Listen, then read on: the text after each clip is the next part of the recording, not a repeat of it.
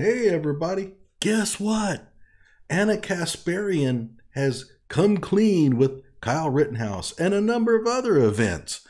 Complete turnaround. Well, maybe not exactly, but I will say her new take on things is rather refreshing. She's here on Sitch and Adams. I don't know much about these dudes. I know they have a very popular YouTube channel. Uh, not that I'm bitter about it, but at any rate, she's on this show and they're going to talk to her about Kyle Rittenhouse. And a lot of the statements she's going to make are really, really surprising. Let's go. Oh, and by the way, I've turned off my video camera because we've already got three people on the screen. I figured, eh, I don't want to put more in. I figured also maybe you want to see some of the commentary that's scrolling by on the right. You're, you know, talking about earlier, and one of the things that we always commended you on was, you know, when you publicly came out and you said that you were wrong about the, the Rittenhouse video, which, I mean, most people, when they make a mistake, they just try to hide it or they try to shift blame. You know, Jimmy Dore very, you know, famously shifted blame to his producer. And I thought it was really commendable that you came out and you're like, no, no, no, I got this wrong. And you were mm-hmm. trying to trying to show not just do this like for your sake, but to say like, listen, audience, you know, you need to understand that this is the story, and, and you know, I don't want you guys to have the wrong information. Yeah, there was. Look, I, the one, I guess, through line you'll notice in the various things that we're going to talk about in this conversation is that it just become more. It just became abundantly clear to me that where I was getting my information. And I'm not just talking about like, you know, independent lefty outlets. I'm talking about like legacy media outlets, right? Mm-hmm. A lot of them, it's not that they report misinformation, it's that they omit details of the story that would, you know, maybe the, de- the additional details of the story don't change your mind at all, right? But it's not up to them to decide that. Like we should know every detail. I think the Amy Cooper story is another example. You know, I it was fairly recently I came across uh, Camille Foster's very in-depth investigation into that story and there were so many details of that story that were intentionally omitted or left out of the legacy media reporting of it and that painted a picture in my mind and in the minds of many others that you know there's there's no justification for the way that she was you know panicking when she was on the phone with the 911 dispatcher right but then you get this then you find out based on what camille foster had um, found out and reported was that like she didn't have good cell reception. So the person on the other end of um, that conversation couldn't hear her. She was panicking because she mm-hmm. genuinely thought that she was at risk after here's another thing that was omitted in a lot of the reports after she was literally threatened by the bird watcher right who said you know if you're going to do what you want i'm going to do what i want and you're not going to like it and then he proceeds to try to lure her dog to him and listen yeah, yeah. you might still you might still and keep in mind, though, um, it's one thing to come clean on the whole Kyle Rittenhouse deal, but also with the Amy Cooper, this is a very unpopular stance she's taking. Amy Cooper is supposedly the most racist person around, and and the idea of even defending her would absolutely rile the left, but she's doing it anyway. Now, when she's talking about the Kyle Rittenhouse case, I think she's talking about the video where she initially claimed that Kyle was chasing Joseph Rosenbaum. Obviously, she got it wrong. How she got it so wrong, I have no idea. I mean, even the left acknowledged early on that yes, Kyle was being chased, but uh, she had it the other way around. It's really, really strange that she came across that conclusion. But at any rate, she is coming clean on it, and we'll listen some more. Feel that her behavior was uncalled for, whatever, that's up to you. But you should know all those details. And I will say, from my personal opinion, if some random, if I'm alone at a park and some random guy tries to lure my dog away from me, I'm gonna freak out. you know, like I just am. And so, okay, with the Rittenhouse story, I was gonna cover the trial and I just needed to go back and just like really, really look at all of the details and remember all the details. So when I do the story, I, I, get the facts right. And then as I'm doing that, I come across a New York Times video. This was a really, really well done video that they posted on YouTube that showed you in, in slow motion, like how everything transpired that night. Mm-hmm. And once you see it for yourself, it's really, really difficult to argue that in those moments he was not acting in self defense. Whoa! Whoa! Is this Ana Kasparian? Yes, it is. She says it. It's hard to believe that he was not acting in self defense. So yeah. And of course, she talked about legacy media before. She's right. They won't necessarily put something down that's blatantly wrong, although the Milwaukee Sentinel Journal certainly seemed to do that on occasion. But what they do is they leave out the context, they'll leave things out. They know exactly what they're doing. And the whole thing about Amy Cooper, uh, they knew very well that if they released that information about Amy being justifiably scared, that that would have colored the narrative away from them. So they edited it out. And this is an area where, you know, Cenk and I disagree because, you know, if if someone's hitting you over the head with a skateboard, that could kill that could kill you that could kill you, you know? And so, you know, Cenk is a very he's a strong-minded person and he's not one to back down from a fight. So in his mind, you know, someone confronts you with a skateboard, he he doesn't see it as a threat, but I I do. And Rittenhouse is not a big burly guy who can like defend himself um, against someone who's like hitting him over the head with a skateboard as he's lying on his back. Uh, Cenk has never been hit by a skateboard. If he ever did, he would probably change his tune. So once I saw all those details, first of all, I had to convey them to my audience and be honest about what the what the reality was. The other thing was, you know, there was a lot of misreporting about how Kyle Rittenhouse was in possession of an illegal weapon and that he crossed state lines with that oh, weapon. No. Okay, yep. so that was a lie, and it was a lie that she forwarded constantly. It was every video she was telling everybody about how he crossed state lines with that weapon. Um, I mean, she's at least admitting that it was wrong, but she also has to own up to the fact that she was one of the big spreaders of that manure it's not a lie that I just made up in my mind, right? That was how it was reported initially, which is why I would mention the state lines, but not because, oh, how dare he cross state lines? Anyone in this country has the right to cross state lines. It was because it was reported that he was in possession of an illegal gun right. and he traveled across state lines with an illegal gun, which is a serious charge. But it turned out that he did not travel across state lines without. that. Yeah, weapon. he didn't he do that. Yeah, the weapon right. was in in the area already. Yeah, exactly. He bought it from a friend when he was already in Wisconsin. Mm-hmm. Well, he didn't buy it from a friend but it's a complicated deal, so let's not get into it. Sitch, the night of that event, I mean, maybe a day afterwards, Sitch and I were watching those videos online as they were breaking out. And I saw the reporting w- was basically wrong on CNN the night the viral videos were released. Don Lemon was saying, uh, you know, a, a, white kid shoots into a crowd of Black Lives Matter protesters. And I'm like, what? Yep. That's insane. So they kind of poison the narrative from the get go. Mm-hmm. And then and that's really important to know. Um, and it happened to me when I first heard 17 year old kid shoots into a crowd of protesters. I was like, oh no. And I actually avoided the, uh, the news for a while on that because I just didn't want to hear about it. And finally, I was watching Rick Gore's channel, Good Luck America, when he was covering it. I'm thinking, wait, this is not at all what I thought.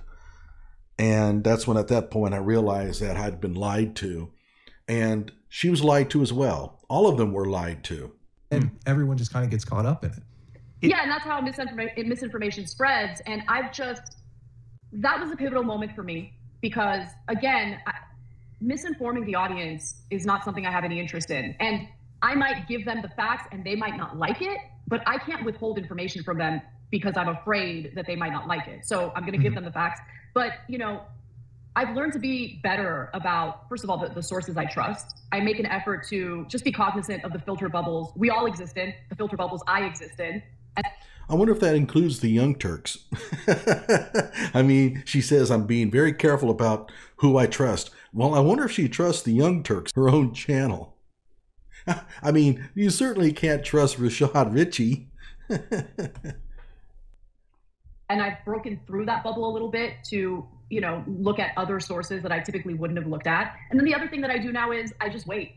You know, I think the story involving the so-called Citi Bike Karen is a good example of that. The main show, because TYT consists of many different shows, right? The show that I'm the executive producer and host of is the main flagship show, The Young Turks. Mm-hmm. And prior to that story breaking, I had a meeting with my team and I was like, listen, I don't want you guys pitching stories about random individuals in the country who are caught in an out of context video uh, allegedly behaving badly. I, I, think these stories are divisive. I don't think we usually have the full details before we talk about these stories. Well, that's pretty much the entire leftist media. I mean, if you take that away, Ana, then they won't have anything to report at all because that's essentially what the leftist media does. They take a random interaction between two people that normally we wouldn't even care about and they blow it out of proportion. And of course, the context is completely stripped away. It happened with Citi Bike Karen and it will continue to happen. But I have a feeling that the Young Turks has probably been a little bit problematic in this regard just as much as anybody else. Stories. And honestly, at the end of the day, engaging in these witch hunts is actually causing more division and hate in the country than anything else. So, like, if there's a story that's particularly like jarring and you guys really do want to cover it, that's fine. But just understand that we are going to wait. Like, we are not in the business of breaking news. I don't give a shit about being the first uh, in reporting the story or whatever. I want to make sure that when we do, we actually report it correctly and we don't have egg on our face later. Now, there are a bunch then you need to fire Rashad Richey because Rashad will jump on a story immediately and he never gets anything right. Of other shows on the network that I have no say over, that I have no control over who, you know, inaccurately reported on it and uh, had to issue retractions. They had to take videos down and all that stuff. And I just think that was a teachable moment, hopefully a teachable moment for everyone in the company. But certainly, you know, this is an ongoing conversation I have with my team and luckily, I don't know how I did it. I feel like I found unicorn producers because they're really smart, super open minded. You know, they're less interested in this left versus right or partisan garbage. And they're more interested in making sure that if we're going to report stories, we get it accurate.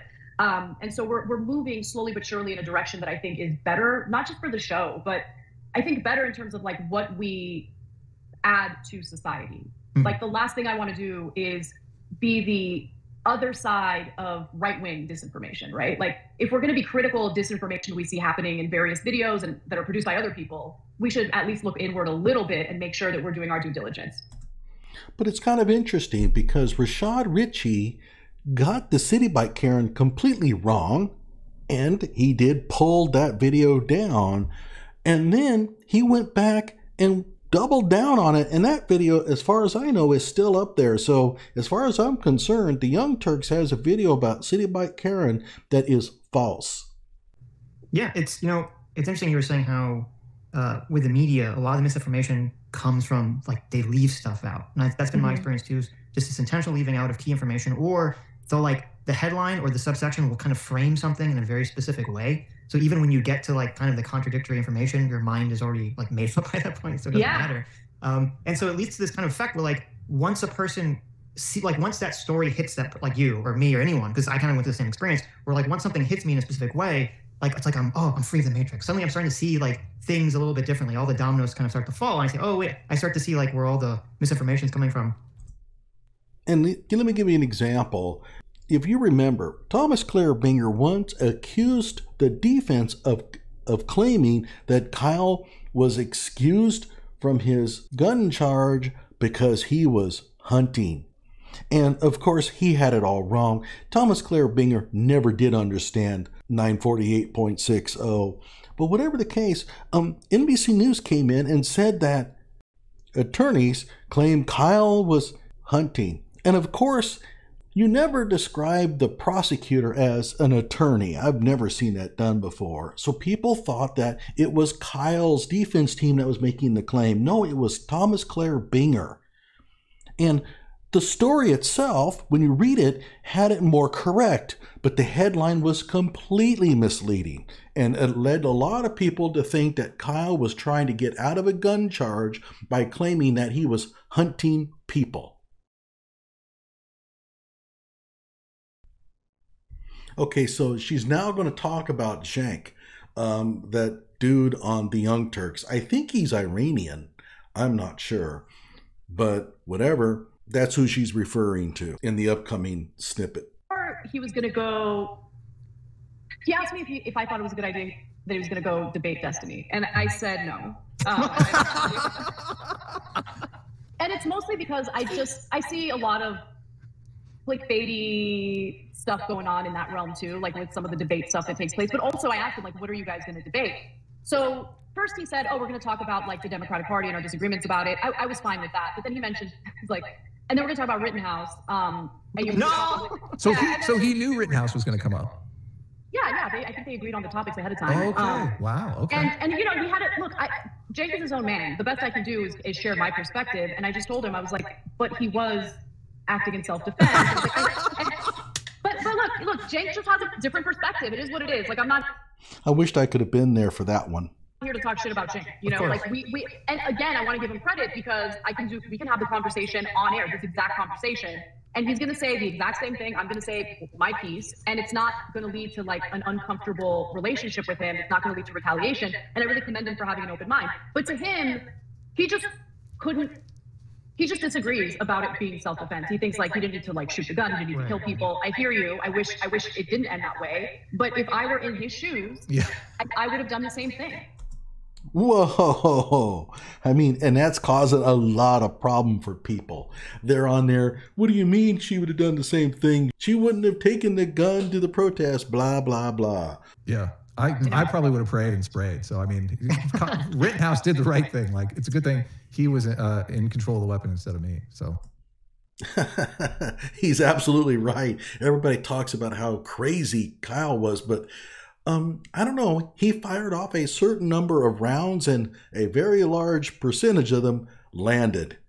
A lot better than what a lot of people would have done. Now, I don't think that Kyle is an awesome gun handler. He got a little lucky, maybe, but whatever the case, results don't lie.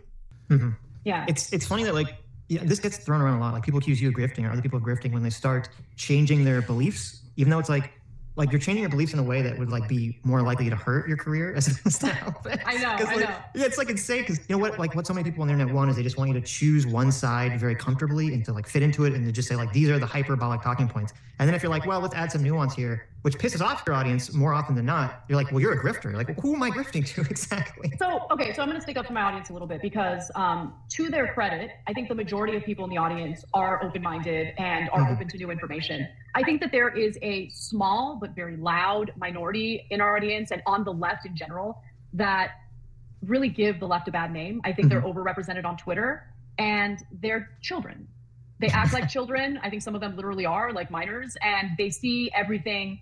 And look, if they're young, I don't blame them. I think when you are young, it's it's a little more difficult to grasp nuance and how complicated and complex a lot of these issues are. You know, one of the favorite one of the things that Jesse Singal says all the time that I love, and he says it repeatedly, is it's complicated because it is. Like all of these issues are way more complicated than the way they're being portrayed in partisan media. And so what I want to do is actually understand those complexities. But here's the other thing understand the other side in good faith. Okay. Because I think that there are some stereotypes that the left has kind of bought into about what the arguments are on the other side. And, you know, it doesn't make us sharper to misrepresent what the other side is actually saying. It actually mm-hmm. makes us weaker. If you understand what their arguments are, it'll then allow you to reflect on what your own weaknesses might be in regard to the arguments that you're making. So, what do you think? Do you think that she's turned the corner? Keep in mind, she's still a leftist, she's still liberal, but at least I get the feeling that if she was on the jury in the Kyle Rittenhouse case, I truly believe now that she would have rendered a not guilty verdict. Tell me if you think I'm wrong. Like my video, subscribe to my channel. And by the way, if there's any other uh, snippets in here that you want me to cover in a future video, uh, let me know. Just put the timestamp down and I'll cover them. Um, I didn't watch it all the way through, so I don't know if she's going to cover uh, Kyle anymore in this, but uh, let me know.